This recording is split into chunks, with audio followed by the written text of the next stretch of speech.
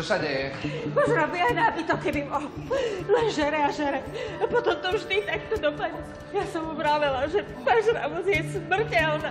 Dobre, urobte odbery sonobrucha a na tých sínku brucha vstojí. Dajte si pozor, pán doktor, lebo raz zožere aj vás. No, dobre, poďte sem. Vy tu počkajte, dobre? Žiadne také. Keď som ho sem dovliekla, takmer na rukách ja sama, tak chcem byť pri tom, keď mu budete vysvetľovať, že pažravosť je smrteľná. Pani, a čo ste vlastne zjedli? Čo je dole? Skoro celú tortu. Viete, naša mama urobila Vládkovi, nášmu synovi tortu k narodeninám. Tento tu sa do nej pustil, ako keby v živote nič nejedol. No myslím, že to nebudú vredy ani appendicitída, skôr ide o enterotoxikózu alebo otravu. Rozšírené zreničky, sucho v ústach. Dobre, máte jeho občiansky preukaz? Ježišmarja, tu so sebou nič nemám. Ani doklady, ani kamery. Viete, keď mu prišla zle susedárka, že mi umiera debil jeden.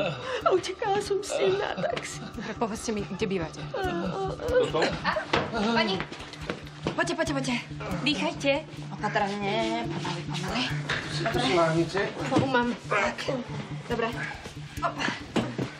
Rovnaké príznaky. Rozšírené zreničky.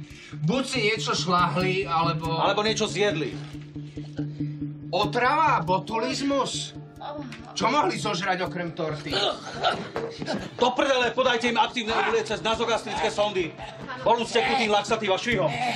A sem to isté, to bude otrava. Romeo a Julia. Ale no tak iné, veľmi vtipné.